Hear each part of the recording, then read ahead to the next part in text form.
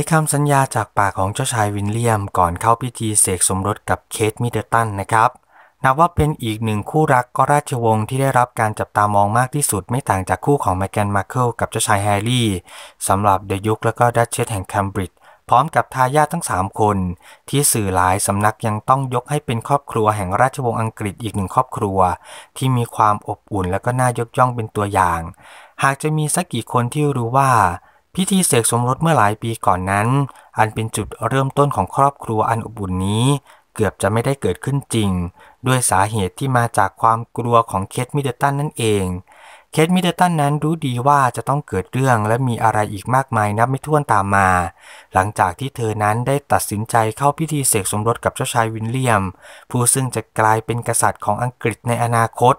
อย่างแน่นอน เธอก็ได้ตั้งใจเตรียมตัวอย่างดีที่สุด ดังที่ภาพยนตร์กึ่งสารคดีนะครับ เรื่องเคทมิดเดิลตัน Working Class to Windsor ได้เปิดเผยเอาไว้ว่า เธอเตรียมตัวอย่างหนัก กระทั่งที่เข้ารับบทเรียนเตรียมความพร้อมก่อนเป็นภรรยาของสมาชิกราชวงศ์ด้วยซ้ำโดยแอชลีย์เพียสันยังได้ให้สัมภาษณ์เอาไว้ว่า ที่เธอทำเช่นนั้นก็เพื่อให้ตัวเองได้มั่นใจว่าเธอมีความพร้อมแล้วจริงๆ ที่จะสามารถเปลี่ยนบทบาทตัวเองไปเป็นคู่ชีวิตของสมาชิกราชวงศ์ได้ เพราะเธอไม่ได้เติบโตมาในโลกใบนี้ตั้งแต่แรก โดยเธอนั้นได้เรียนรู้เรื่องราวเล็กๆ น้อยๆ ไม่ว่าจะเป็นการนั่งการยืน หรือต้องวางกริยาเช่นใดในแต่ละสถานการณ์ จนกระทั่งเธอนั้นสมบูรณ์แบบได้ในที่สุดนะครับ ทว่ามีเพียงสิ่งเดียวที่เคทมิเดตันนั้นกลัวสำหรับการสวมบทบาทเป็นภรรยาของเจ้าชายวิลเลียม นั่นก็คือเธอกลัวว่า หลังจากที่เธอได้แต่งงานกับเจ้าชายวิลเลียมไปแล้วนั้น เธอจะต้องตัดขาดกับพ่อแม่และพี่น้องของเธอ เมื่อเธอได้กลายเป็นส่วนหนึ่งของราชวงศ์ หากสุดท้ายแล้วนะครับ ความกังวลนี้ก็ดูเหมือนจะลอยไปเข้าหูของเจ้าชายวิลเลียมจนได้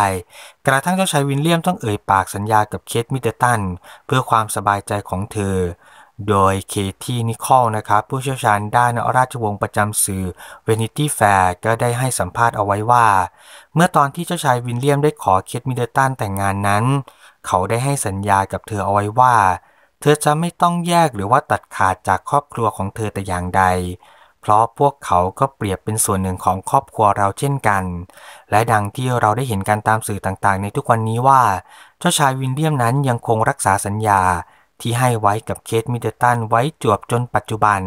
ไม่เพียงแค่ให้เคทมิดเดิลตันยังได้อยู่ใกล้ชิดกับครอบครัวของเธอ หากตัวของเจ้าชายวิลเลียมเองก็ยังมีปฏิสัมพันธ์ที่แนบแน่นมากขึ้นกับสมาชิกในครอบครัวของเคทมิดเดิลตันด้วยเช่นกันนะครับ